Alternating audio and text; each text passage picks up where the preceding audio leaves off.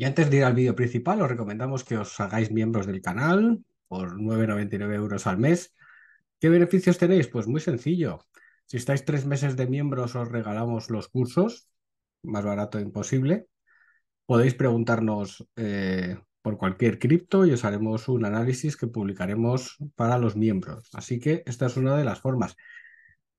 La otra forma que tenemos, estamos en free.tech, donde publicamos primero los vídeos. Si tenéis dos keys nuestras en free.tech, pues también tenéis derecho a recibir los cursos, ¿vale? Totalmente gratuitos. Con dos keys de Enfrien.tech recibís todos nuestros cursos de forma totalmente gratuita. Ya sabéis cómo funciona Enfrien.tech, podéis comprarlas, tener los cursos y luego, pues, eh, cuando pase unos días, ya si queréis las, las podéis vender, pero los cursos los tenéis durante un año para hacer lo que queráis. Así que son las dos formas de acceder de la forma más sencilla a nuestros cursos, tres meses de miembros en el canal y ya está.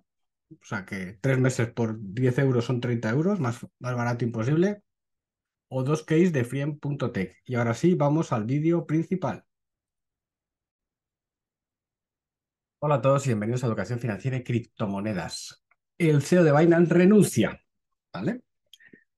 Pero tampoco es que haya pasado gran cosa a nivel de precios. Fijaos cómo el precio del token de Binance pues se ha estado subiendo y se ha pegado un poco de lechón. Llegó a la zona de los, pues vamos a ver aquí, 270 más o menos, cayó a los 225. Sí, 225 y ahora está en 232. Imaginamos que bajará. ¿Hasta qué zona? Pues la zona de los 200 y luego irá recogiendo, eh, recortando. Eh, ¿Esto es normal? Bueno, pues era lo esperado. ¿vale? Al final, en algún momento iba a pasar esto. Aquí tenemos el resumen. CEO renuncia a Binance y se declara culpable por violar restricciones antilavado de dinero.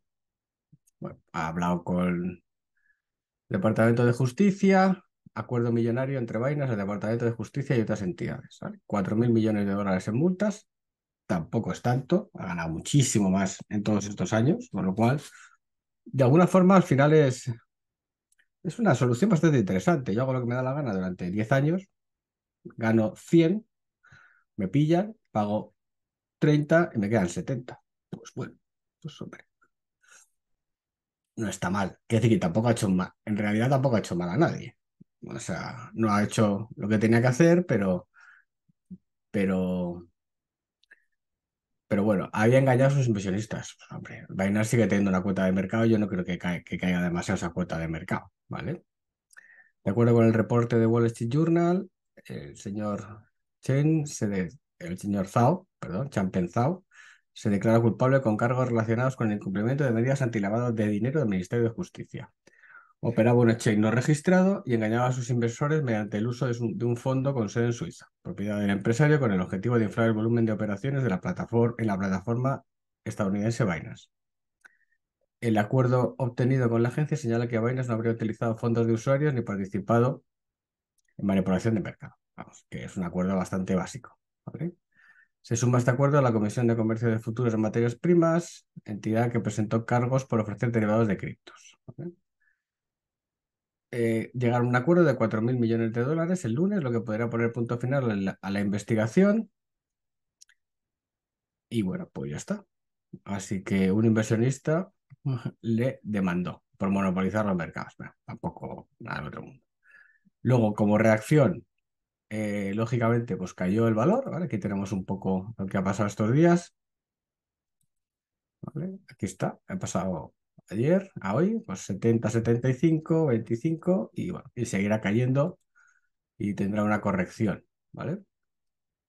Ha caído un 7%, podría contar soporte en los 200. Eso es un poco lo que decimos nosotros, pero luego seguirá bajando seguramente. ¿Vale? Seguirá que de alguna forma pues tendrá que, entre comillas, disolverse. No, no disolverse, pero sí incorporarse a todos los lados de forma legal, con lo cual, pues, eh, digamos, ya dejará de, de ser tan interesante. ¿Vale? Llega este tipo, el Richard Ten, que bueno, 30 años de experiencia en la industria, ¿vale? Tres puntos que, que será enfático. Vamos a ver si lo vemos por aquí. Bueno, lo, La base sobre la que sienta bien es más sólida que nunca. Pues para garantizar un futuro brillante tengo la intención de utilizar todo lo que he aprendido durante las últimas 30 años entre experiencia regulatoria y servicios financieros. O sea que ahora se van a poder hacer toda la regulación. Como decimos siempre, han captado a los clientes, una vez que tienes los clientes, pues te pones a hacer los compromisos regulatorios. los clientes pues no tienen más cojones que, cumplir la mayoría de ellos. Los tres puntos que centran su atención, asegurarse que los usuarios puedan seguir confiando en la solidez de la plataforma. Pues sí, eso no creo que haya problema. Colaborar con los reguladores para mantener altos estándares a nivel mundial que, fomenten la innovación y brinden importantes protecciones al consumidor. Trabajar con socios para impulsar crecimiento y impulsar la adopción de la Web 3. Bueno, pues ya está, ¿vale? Que cada vez más requisitos regulatorios, eso es bueno. O no. Que por desgracia uno de los factores que frenan el crecimiento de las, global de las criptos es la, normalización jurídica. Hay una regulación. Lo que pasa es que puedes cumplirla o no. Yo creo que desde hace mucho tiempo tenías que hacer el KIC la mayoría de los exchange. Tú aquí no has, no has querido, pues, pues nada, pero porque estabas en otra jurisdicción, tampoco pasa nada. Algunos reguladores definen la criptomoneda como un título valor y otros como mercancía. Algunos consideran un token de pago digital, mientras que otros la tocan como un activo virtual.